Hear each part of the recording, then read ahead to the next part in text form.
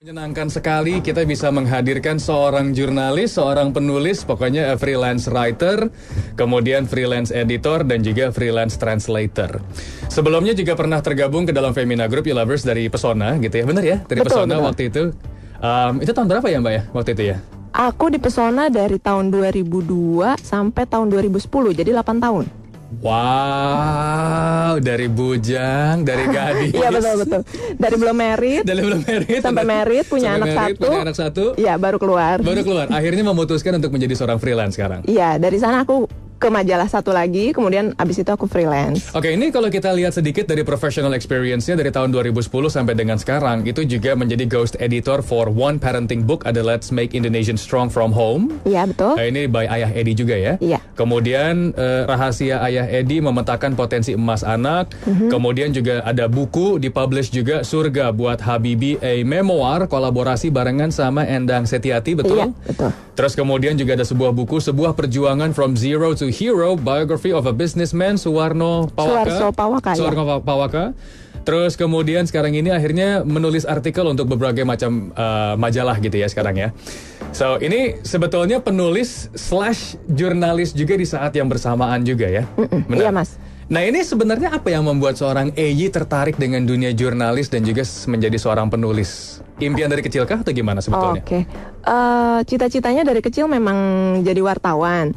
Jadi dari kecil Oh. itu aku suka baca, suka nulis dan biasa biasa kan kalau misalnya orang suka nulis tuh mulainya dari baca gitu. Betul betul. Dan aku besar di di era di mana TV itu cuma satu, cuma TVRI doang gitu ya. Iya. Eh, kayaknya pas SD kelas berapa baru ada RCTI gitu. betul, Jadi betul, betul. jadi hiburannya sedikit. Jadi karena hiburannya sedikit, suka baca buku cerita, suka main sama adik, mainnya main imajinasi, main orang-orangan bikin cerita Iya, kayak gitu. iya. Terus ah, tahun berapa ya?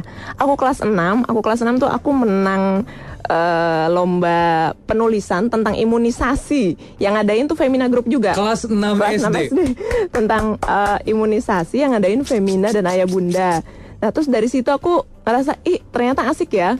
Aku nulis, terus waktu itu aku menang, aku dapat uang. Waktu itu aku ingat 400 ribu buat anak kelas 6 SD tahun 90 gitu kan jadinya, wah itu suatu pemacu gitu Iya, ya iya, mas betul, ya. betul, betul. Terus udah gitu kelas 6 itu aku juga tahu ternyata aku punya om yang kerja di majalah gadis gitu. Udah kelas 6 terus aku naik kelas 1 SMP tuh aku aku jadi pengen tahu kayak gimana sih nulisnya di majalah Iya, gadis iya, si iya, iya, omku iya, itu betul. kayak gimana sih. Jadi aku mulai baca-baca majalah gadis dan suka gitu. Dulu juga majalah kan belum terlalu banyak juga ya Mas ya. belum. Femina Group ini termasuk yang paling lama yang paling juga nih. lama yang kan. paling lama, betul. Jadinya aku lihat-lihat terus ih asik ya. Terus aku suka banget ngelihat artikel-artikel di mana eh, apa eh, orang-orang redaksinya tuh menampakkan diri gitu Iya, kan iya. ada kadang-kadang ada, ada, gitu ada. jadi aku pengen jadi bagian dari itu gitu terus ada misalnya eh, jalan-jalan ke Australia gitu terus ada wartawan yang ikut oh ternyata Iya. dia bisa jalan ke Australia bisa, bisa, bi- bisa Jadi- bener ya. bisa bener gitu jadinya eh, mungkin dari sin- dari sana dipupuk dipupuk dipupuk sampai akhirnya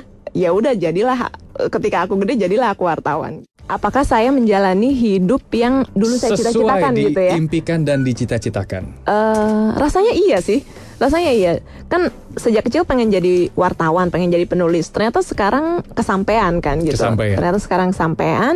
Eh mungkin seharusnya abis ini saya harus mikirin lagi abis ini saya mau ngapain kayak Hmm, gitu. hmm, karena hmm, hmm. setelah kesampaian kan nggak boleh cuma diem aja kan Iya. gitu ya Eh, mungkin kalau mikirin itu saya pengen abis ini bisa nulis eh, fiksi sih mas gitu bisa oh, nulis nextnya, nextnya untuk dari seorang EI ya. Oke. bisa nulis novel lah kayak gitu. Mhm. Karena selama ini kan lebih banyak nulis artikel majalah atau buku kayak Kapan gitu. kira-kira tuh Mbak? Harus ada yang ngasih deadline sebenarnya.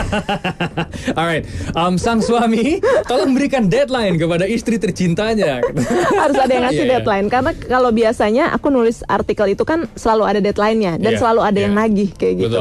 Kalau untuk untuk novel ini yang pengen banget aku wujudkan Aku cuma bisa ngasih deadline buat diriku sendiri kan gitu kecuali ada yang mesen kayak Hmm, gitu. iya, Ya, sekarang kan belum ada gitu.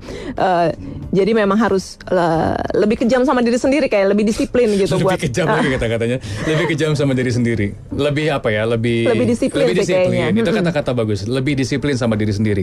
Kita eh, kampanye UFM di bulan November ini adalah Remember the Magic karena di akhir bulan nanti tanggal 28, 29, 30 kita ada kegiatan yang diadakan sama Femina Group yaitu adalah Jakarta Kids Festival.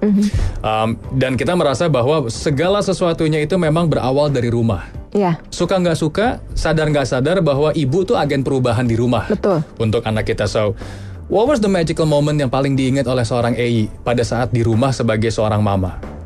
Setelah kelahirannya Pendar ya, setelah kelahirannya Pendar atau itu juga merupakan salah satu magical moment yang membuat meneteskan air mata atau apa kira-kira? Magical moment ya. Eh mungkin saya bisa cerita, saya nggak sebelum melahirkan pendar ya, sebelum punya pendar, saya nggak pernah merasa jadi orang penting, mas. Saya saya orang biasa. Really? Eh, saya maksud saya dan itu bukan sesuatu yang saya ucapkan dengan menye-menye ya, maksudnya. Iya iya iya eh, iya iya. aku nggak ngerasa ada penting-pentingnya sih jadi orang penting gitu. Aku jadi orang ya begini aja biasa aja gitu. Tapi ketika punya anak, melahirkan anak gitu, aku sadar kalau ih uh, I am a very important person kayak gitu. Bingo. At least buat si anak ini gitu ya, buat Bingo. buat pendar kayak gitu. Jadi eh aku merasa begitu ada kehadiran dia, I feel like the most important person in the world for her gitu ya. Tuh dengar ya lovers, you should. Pada saat sudah menjadi yummy mommy ini kata-katanya bagus. You are the most important people in the world. Iya betul buat anak ini kayak Untuk gitu. anak ini. Nggak bisa tergantikan kan posisi aku dan posisi Betul, dia betul, di betul, aku betul, juga nggak bisa betul, betul, tergantikan betul. kayak Iya, gitu. iya, iya, iya. Jadi mungkin itu juga salah satu kenapa aku memilih jadi freelancer. Eh, setiap orang pasti punya prioritas Setuju. dan eh, prioritas dan apa ya yang beda-beda lah Iya. kayak gitu ya. Saat ini mungkin prioritasku adalah untuk untuk lebih banyak berada bersama anakku kayaknya, Hmm, tapi tanpa melepaskan eh, cita-cita, tanpa melepaskan kegiatan yang satu lagi sebagai penulis gitu. Jadi ini ini yang paling yang paling baik yang bisa aku lakukan sekarang adalah seperti ini gitu. Jadi freelance yang juga jadi ibu rumah tangga.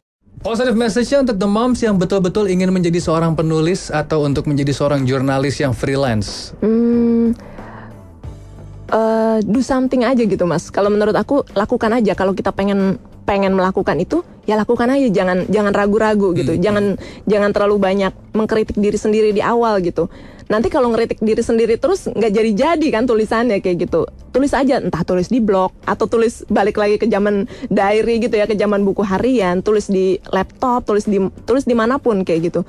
Dan kalaupun misalnya nggak pengen jadi penulis, pengen jadi hal lain, kalau menurut aku do something. Memang eh, membesarkan anak tuh suatu kewajiban dan dan suatu hal yang menyenangkan kan gitu. Tapi kalau menurut aku seorang perempuan juga harusnya punya sesuatu buat diri dia sendiri gitu.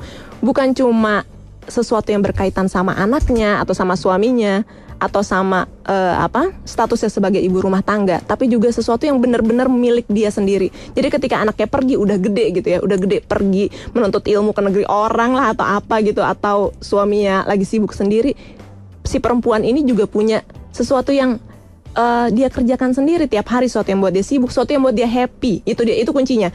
Masalah kemandirian, masalah punya duit sendiri itu masalah belakangan. Tapi do something that makes you happy gitu. Eh, ngebesarin anak tentu wajib kayak gitu ya. Tapi harus ada satu gitu, harus ada satu yang kita pegang juga gitu. Kalau menurut aku sih gitu. UFM 94,7